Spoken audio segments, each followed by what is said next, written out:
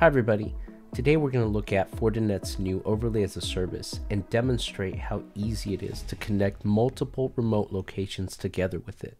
Fortinet Overlay as a Service is a SaaS offering that delivers point and click setup and monitoring of new SD-WAN overlay networks. This service is purpose built for organizations who want to easily connect all their sites but may have limited technical expertise or constrained budgets. Included with the service are two geo-redundant Fortinet managed hubs, thus eliminating the need to manage and host a dedicated hub and allowing you to seamlessly connect your locations in minutes. We are now logged into FortiCloud, which is the launching pad for Fortinet Cloud Services. From here, I can log into the Overlay as a Service portal.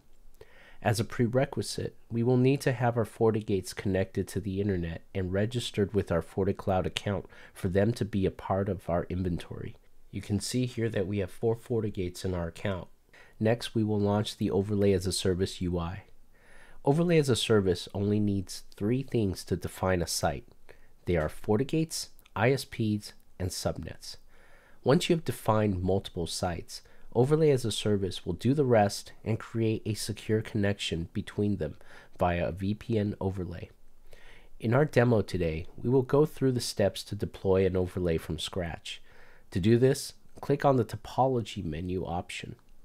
The first step is to select the location of our Fortinet hosted hubs. These hubs will be used to facilitate the secure branch-to-branch -branch connectivity between our sites. You will need to select two hub locations one of which will be for redundancy purposes. We will go ahead and select San Jose as our primary location and Ashburn as our secondary location. Now that the hubs have been added, we will next add a site. Let's give our site a name and select the type of site it is. I want to point out here that both branch and data center site types behave the same. The site type is more for our own informational purposes. We will name our site Sunnyvale and also give it a quick description. Once that's done, click on the device dropdown and select our HQ FortiGate from the device inventory. Next, click Add and then Done. You can see that the Sunnyvale site has now been added to our overlay topology map. We will now repeat these simple steps for our other three branch sites. We will fast forward this process for the sake of time.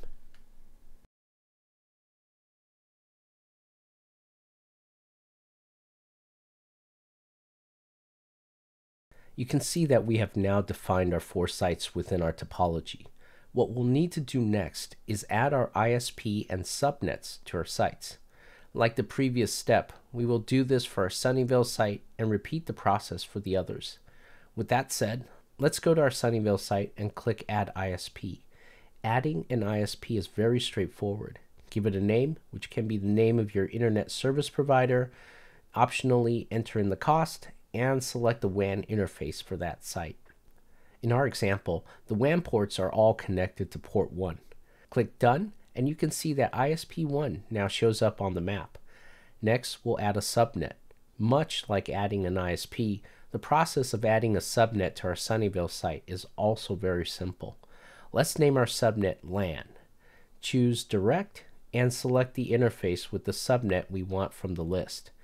In our demo environment, the subnet is directly connected to the site FortiGate, so we will choose direct. For instances where we require a static route to reach our chosen subnet, use the indirect option. Now click Done. Our Sunnyvale subnet now also shows up on the topology map. We will now repeat this process for our other three branch sites.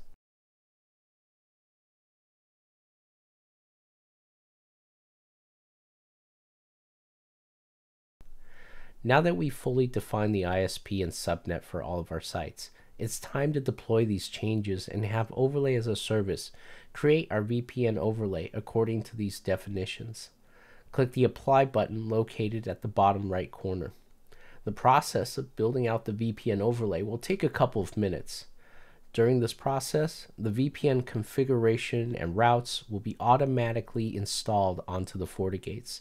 If you wish to view the progress, click on the Progress button at the top.